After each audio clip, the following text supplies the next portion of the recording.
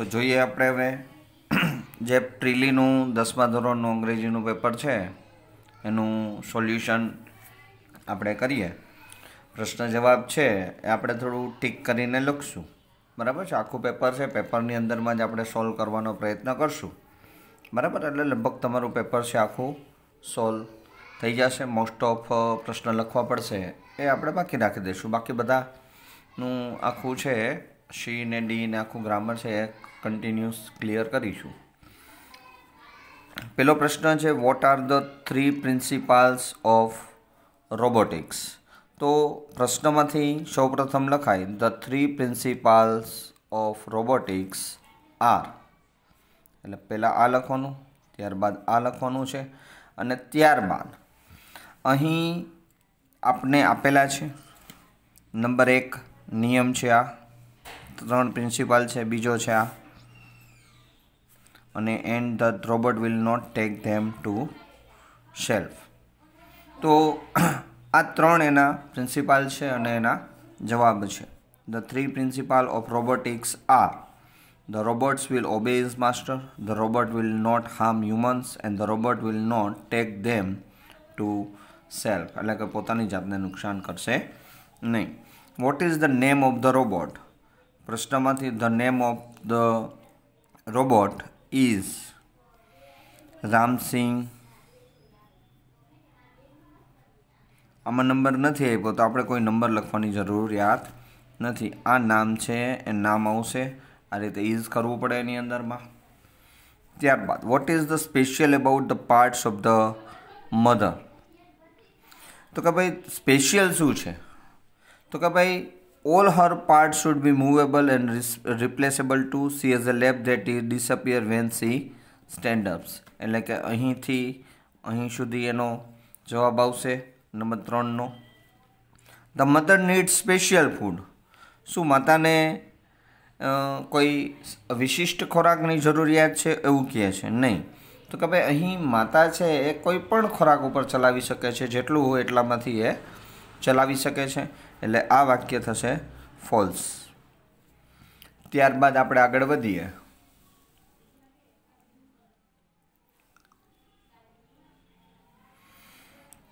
What did the teacher suddenly do તો પ્રશ્નમાંથી છે એ ડાયરેક્ટ લખવાનું હોય છે. સડનલી અહીં આપેલું છે આપને. સડનલી માય નીકળી જાય. ધ ટીચર પુટ માય હેન્ડની જગ્યાએ શું થઈ જશે? Her, hand, under the water, tap. અહીં સુધી આવશે એનો જવાબ.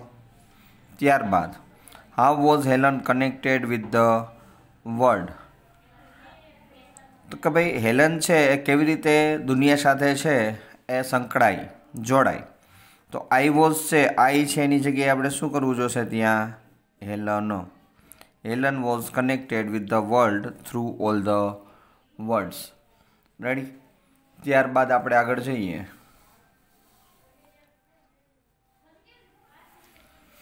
Where was Kacha? તો કે ભાઈ, પ્રસંગ, કચ્છ ક્યાં હતો? Kacha was in Shukracharya's. ચાર્યાસ stomach. આશ્રમમાં તો એવું કંઈ નહીં આવે, પરંતુ એના પેટમાં હતો. કારણ કે જે અસુરોએ છે એને મારી અને એનો ભૂકો છે બાળી અને એનો જે અસ્થિઓનો જે ભૂકો થયો, એ બધો જે છે એના ડિવાઇન રસમાં ભેળવી દીધો એને. What did Kacha request Shukracharya? તો શુક્રાચાર્ય કચ્છ રિક્વેસ્ટેડ શુક્રાચાર્ય અહીંથી ઉપડશે. To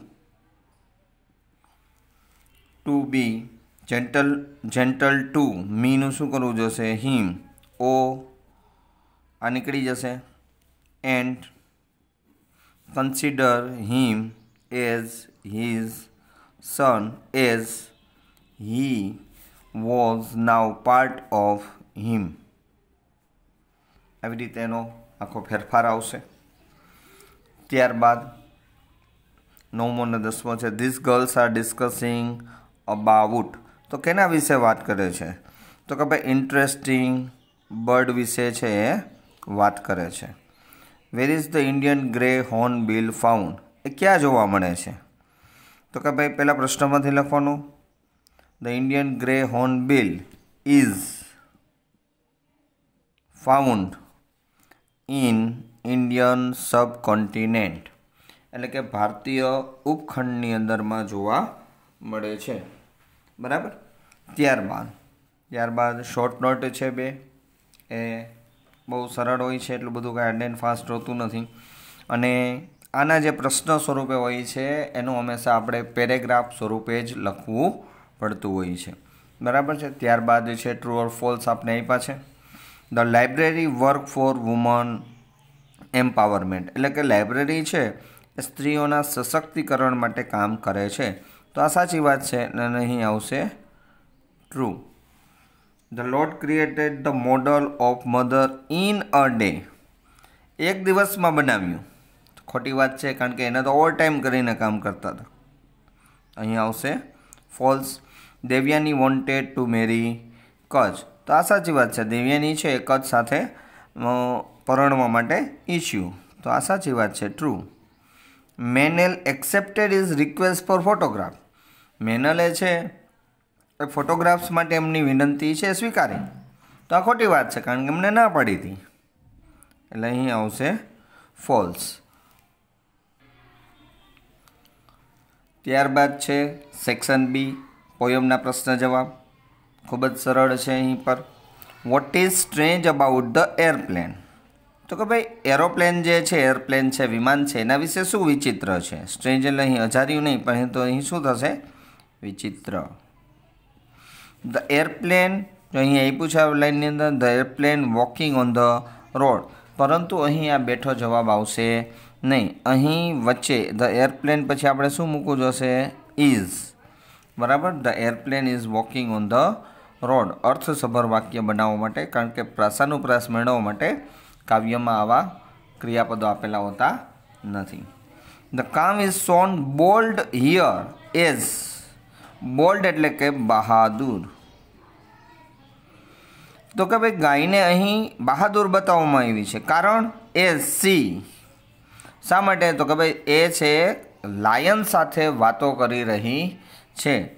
She is having conversation with the લાયનો આવી રીતે છે ફેરફાર કરવો પડે છે આપણે એનો બરાબર? ડિસ્ક્રાઇબ ધ સન સનનું આપણે અહીં વર્ણન કરવાનું છે. તો વર્ણન કરવા માટે શું કર્યું તો કે ભાઈ,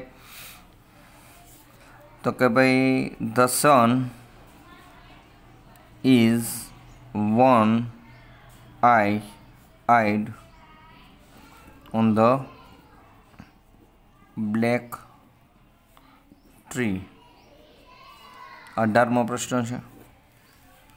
બરાબર? ત્યારબાદ આગળ આપણે જઈએ. તો ત્યારબાદ છે અનસીન ડેટા છે. ડેટાના પ્રશ્ન જવાબ છે. એમાં પહેલો પ્રશ્ન આપણે એવું કીધું છે કે which profession did Vallabhbhai choose તો વિચ પ્રોફેશન ડીડ આટલું નીકળી જાય? વલ્લભભાઈ ચોઝ એમાંથી આ ઓ નીકળી જાય ચોઝ તો હવે આપણે એનું પ્રોફેશન જોવાનું. તો પ્રોફેશનનું અહીં આપ્યું છે. અહીં શું આવશે? Lawyer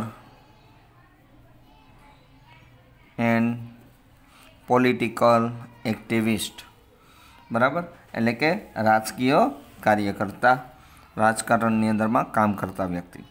What is Sardar Vallabhbhai known as Sardar Vallabhbhai છે એ કયા નામે ઓળખાય છે? તો કે Sardar Vallabhbhai is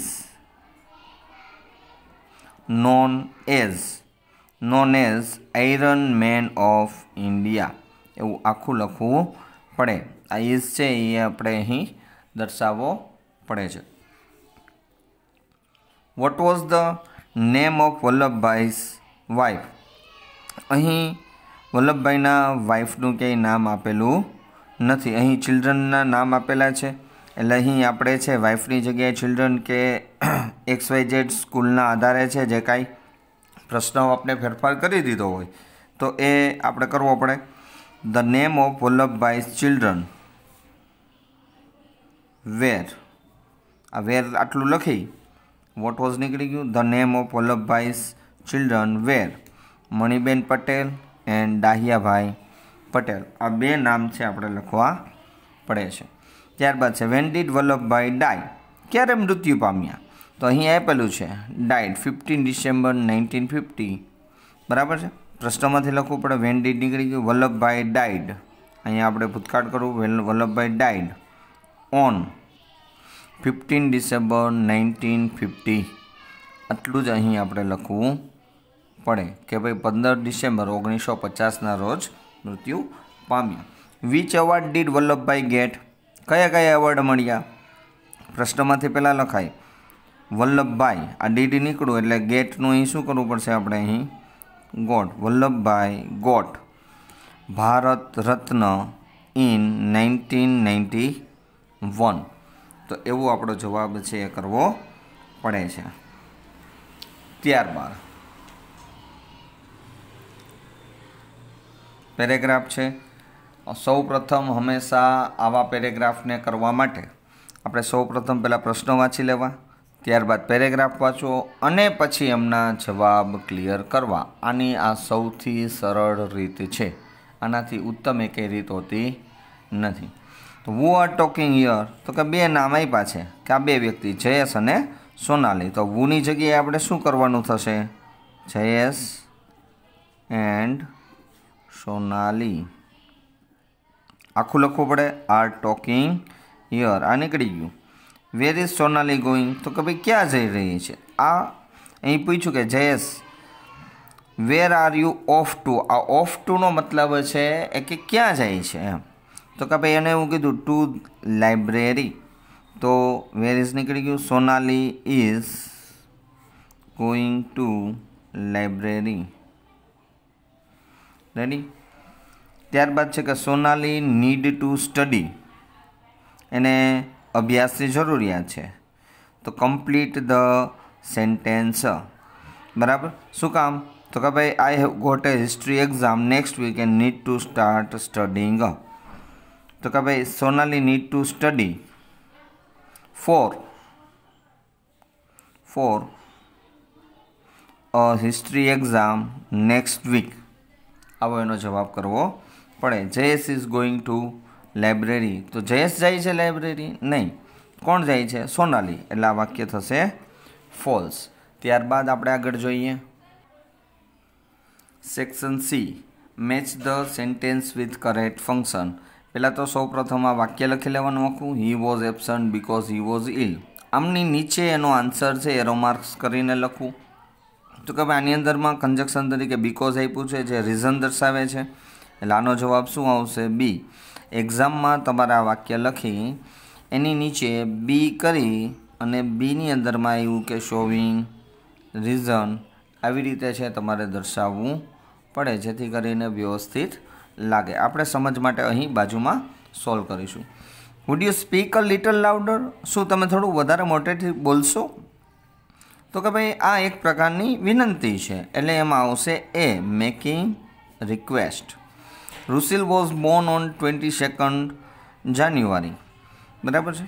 તો કે ભાઈ, આ કઈ તારીખે જમ જન્મ્યો? તો કે ભાઈ, બાવીસ જાન્યુઆરી તો એ ચોક્કસ સમય દર્શાવે છે એટલે જવાબ આવશે તમારો ડી સ્પેસિફાઈંગ ટાઈમ ત્યારબાદ respond to complete the conversation આટલું જ આપી શકો, અથવા તો તમે એપ્રોપ્રિએટ રિસ્પોન્સ આટલું જ હેડિંગ આપવાનું છે. આમાં તમારે મેચ ધ સેન્ટેન્સ કે મેચ ધ ફંક્શન એવું તમે એમાં હેડિંગ આપી શકો છો. ત્યારબાદ આમાં જોઈએ, Karan when will you return today તમે ક્યારે પાછા આવશો? તો કે ભાઈ ચોક્કસ સમય દર્શાવતું આપણે અહીં કામ કરવું પડે. તેનો જવાબ આવે છે તમારો સી, કે જેમાં ચોક્કસ ટાઈમ ટાઈમ છે એ દર્શાવવામાં આવે છે. ત્યારબાદ આપણે આગળ જઈએ એમાં.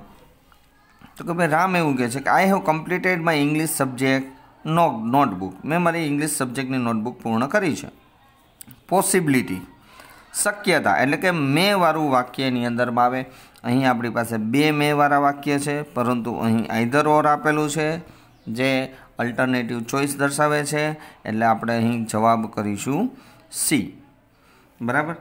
તો અહીં આ પણ મેં છે, પણ અહીં રૂપિયા આપવાની વાત છે, એટલે આ આવશે નહીં. આ પણ નહીં આવે, આ તો આવશે જ નહીં. એટલે જવાબ થશે આપણો સી રેડી ત્યારબાદ રીટા એવું કે when did you pass your tenth examination past ભૂતકાળનું જે વાક્ય હોય, ફક્ત ભૂતકાળ, સાદા ભૂતકાળનું વાક્ય છે એમાં બંધ બેસતું થાય તો અહીં એક જ એવું ક્રિયાપદ આપ્યું છે કે જેમાં ખાલી ક્રિયાપદનો જ ઉપયોગ કરવામાં આવેલો છે. જવાબ થશે તો આપણો એ. ત્યારબાદ આપણે આગળ વધીએ.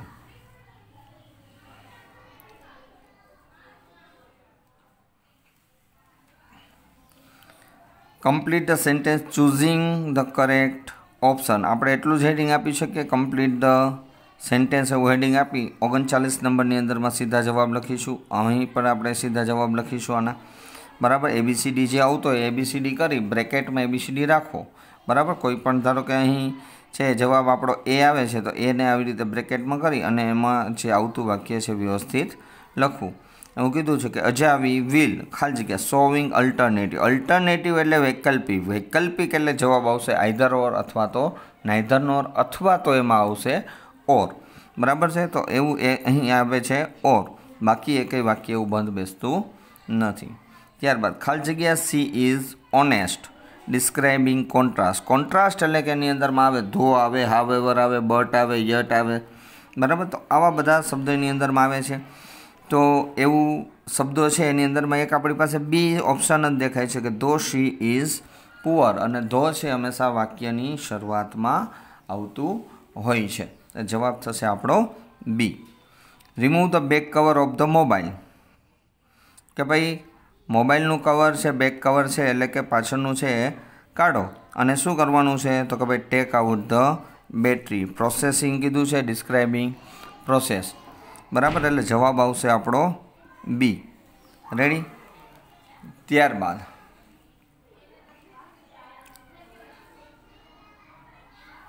બેતાલીસમો પ્રશ્ન છે complete the paragraph filling the blanks એટલું જ આપણે હેડિંગ એમાં આપી શકીએ છીએ. બેતાલીસ નંબર આપવાનું, આખો પેરેગ્રાફ લખવાનો છે અને જે જવાબ આવે નીચે અંડરલાઇન કહ્યું હેવ યુ એવર ખાલી જગ્યા બ્લડ હેવ આવ્યું છે એટલે અહીં જે જગ્યા વધે છે, એ ક્રિયાપદ માટેની આવે છે. એ ક્રિયાપદ છે, આમાંથી કયા આવશે? તો કે ભાઈ donated have you ever donated આ ડોનેટેડ છે પહેલાં પેલી બ્લેક્સમાં આવશે. ખાલી જગ્યા I donated blood for the six time તો કે ભાઈ આ અલ્પ વિરામ કરીને આપ્યું છે, શબ્દ આપ્યો છે, તો એની અંદરમાં શું આવશે? રિસેન્ટલી રિસેન્ટલી છે, અહીં જવાબમાં આવશે. હવે છેલ્લો ઓપ્શન હોય તો એ ઓટોમેટિક છે, એની અંદરમાં આવશે ડિમાન્ડ આ જવાબ આવશે ત્રણ. રેડી ત્યારબાદ આપ્યા છે આપને નિયરેસ્ટ મિનિંગ પ્રીટી પ્રીટી એટલે કે સુંદર. સુંદર એટલે શું? જવાબ થશે આપણો બ્યુટીફુલ ત્યારબાદ છે પોપ્યુલર પોપ્યુલર એટલે લોકપ્રિય. લોકપ્રિય એટલે કે જાણીતું. જાણીતું એટલે કે વેલ નોન એવિડન્સ એવિડન્સ એટલે પુરાવો. પુરાવો એટલે શું આવશે? પ્રૂફ તો આવી રીતે આપણું છે આ સેક્શન સી આખે આખો ક્લિયર અને એકદમ સાચો છે, થઈ જાય છે. ત્યારબાદ આવે છે ઇનડાયરેક્ટ સ્પીચનો પેરેગ્રાફ આવે છે. ઇનડાયરેક્ટ સ્પીચના પેરેગ્રાફની અંદરમાં આ જે ચાર વાક્ય આપણે આપ્યા હોય છે, એ બરાબર વાંચી જવા. ખૂબ જ સરળ હોય છે. ફક્ત ચાર જે ટેબલ ફોર્મેટ એના હોય છે, નિયમના, એ આપણે સ્ટડી કરી લીધા હોય બાય હર્ટ કરી લીધા હોય, તો આપણે એકદમ સરળ છે એ થઈ જાય છે. તો જોઈએ. Nitin asked the salesman what the price of that shirt તો આમાં શું બાકી રહ્યું? ઇઝ તો ઇઝનું અહીં શું કરવું પડશે આપણે? વોઝ એટલે જવાબ આવશે આપણો વોઝ ત્યારબાદ ધ સેલ્સમેન ટોલ્ડ હિમ તો આ બોલનાર આવ્યું રિપોર્ટિંગ વર્ડ સાંભળનાર. તો કન્જક્શન છે. તો અહીં એ પ્રશ્નના સંદર્ભમાં છે, તો રિપ્લાઇડ આવી શકે. પણ અહીં આપણે ઓપ્શન ધેટ છે ઇફ છે અને વેધર છે. તો આપણે સાદું વાક્ય છે, વિધાન વાક્ય છે, એટલે જવાબ આપણો શું થશે એમાં? ધેટ ત્યારબાદ Nitin then asked him if he ફરીવાર પ્રશ્ન પૂછે તો યુનું હી કર્યું છે, તો કેનનું આપણે શું કરવું પડે છે અહીં? કુડ કરવું પડે. ત્યારબાદ the salesman confidently said that he would show him the best ones best ones પછી હું બાકી રહ્યું? આ આવે આપણે ખાલી જગ્યામાંથી બેઠા શબ્દો ઉપાડવાના નથી, પા, વીનું અહીં શું કરવું પડે છે? આપણે ધ્યેય કરવું પડે. બરાબર છે? આ આવો આપણો એક નિયમ છે. ત્યારબાદ કન્જક્શન આપ્યા છે? ત્રણ કન્જક્શન આપ્યા છે. He played mischief in the classroom mischief એટલે તોફાન. તેણે વર્ગખંડમાં તોફાન કર્યા. હી વોઝ પનિશ્ડ તો એટલે એને સજા મળી. તો એટલે મળી એટલે શો? તેથી. વચ્ચે આવશે અહીં શો. ત્યારબાદ I like mangoes I like apples બે વાર આઈ લાઇક આવ્યું. બે વાર જે વસ્તુ આવે એ વાક્ય જોડતા હોય ત્યારે એક જ વાર લખાય. બે વાર લખવી ન પડે. એની જગ્યાએ કન્જક્શન આપણે શું મૂકવું પડશે વચ્ચે? And I like mangoes and apples Jagruti could not go outside Jagruti છે, બહાર જઈ શકી નહીં. ઇટ વોઝ રેનિંગ હેવીલી તો કારણ આવ્યું આ પરિણામ હતું. આ એનું કારણ છે કે ભાઈ શું કામ ન જઈ શકી? એટલે જવાબ વચ્ચે આવશે બીકોઝ ખાલી જવાબ નથી લખવાના. આખા વાક્યમાં વચ્ચે કે આગળ પાછળ જે કાંઈ કન્જક્શન લાગતા હોય એ લગાડી અને આખું વાક્ય લખવું પડતું હોય છે. ત્યારબાદ એડિટિંગ છે.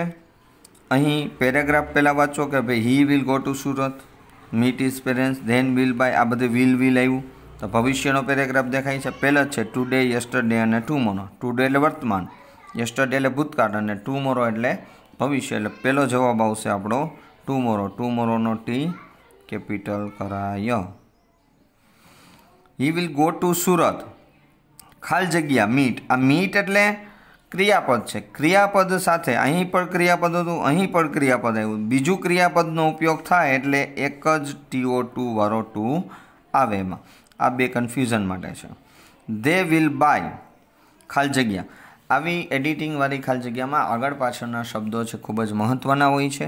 અહીં ખાલ જગ્યા પછી તમને મોસ્ટ આપ્યું છે, તો આ મોસ્ટ છે, એ ડિગ્રીનું છે સુપરલેટિવ ડિગ્રીનું છે. એટલે આવું મોસ્ટ આપ્યું હોય તો આગળ પહેલાં તમારે ધ કરવું પડે છે. ત્યારબાદ આપણે આગળ જોઈએ. ત્યારબાદ છે ડુ એસ ડિરેક્ટેડ અને સીધા જવાબ હોય છે. જવાબવાળો પેરેગ્રાફ આપો, આખો લખવો પડે. ધીસ ઇઝનું અહીં શું આપ્યું છે? ધીઝ આર ધીઝ આર આપ્યું છે એટલે એક વચનનું અહીં આપણે બહુવચન કરવાનું છે. તો બહુવચન કરવાનું છે એટલે શું કરવું પડશે આપણે એનું? તો કે ભાઈ, આ એન એનિમલ આપ્યું છે, એનું ત્યાં શું થશે? એનિમલ્સ અને ઈટનું શું કરવું પડે? ઈટ લીવ્સનું they live. In a group. તેઓ સમૂહમાં રહે છે. આની જરૂરિયાત નથી. It has. તો કે ભાઈ, they have special methods. Special methods. To communicate with its partner. Its પાર્ટનરનું શું કરવું પડશે? Their partners. રેડી? આવી રીતે થાય એની અંદરમાં.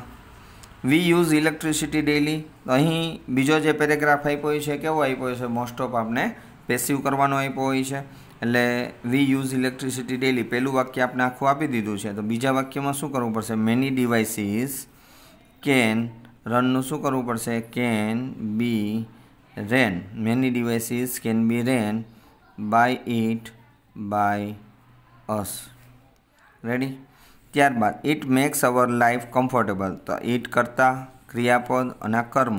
તો અહીં કર્મથી ઉપડે અવર લાઈફ સાદો વર્તમાન કાળ છે એટલે શું કરવું પડે? Is made comfortable by it ready ત્યારબાદ છેલ્લા ત્રણ પ્રશ્નો છે. એટલે આપણે એનું ક્લિયર થઈ જાય. Mitesh is a seller seller એટલે એક પ્રકારનો વ્યવસાય છે. તો એનો હંમેશા જવાબ છે વોટથી કરવો પડે. What is Mitesh. The teacher wrote ten letter ten એટલે હાઉ મેની તો હાઉ મેની વાર આપણી પાસે બી છે અને ડી છે. તો ક્રિયાપદ જોવાય. ભૂતકાળનું છે એટલે જવાબ આપણો થશે D Raju is opening a new shop Raju છે કર્તા તરીકે છે. તો આપણે શું કરવું પડશે? વાળો જવાબ છે આપણો સાચો કરવો પડે. હું આશા રાખું છું કે તમારું આ અંગ્રેજીનું પેપર છે એકદમ બરાબર સારું ગયું હશે. આવી જ રીતે તમે લખેલું હશે. અથવા તો બીજું કાંઈ પણ તમારે રિક્વાયરમેન્ટ હોય તો તમે છે એ જણાવી શકો છો, જેથી કરીને વીડિયો બનાવવામાં ખબર પડે કે ભાઈ હજુ આપણે વિદ્યાર્થીને શું આપી શકાય છે. તો ચાલો ફરી પાછો આપણે મળશું. મહાદેવ હર.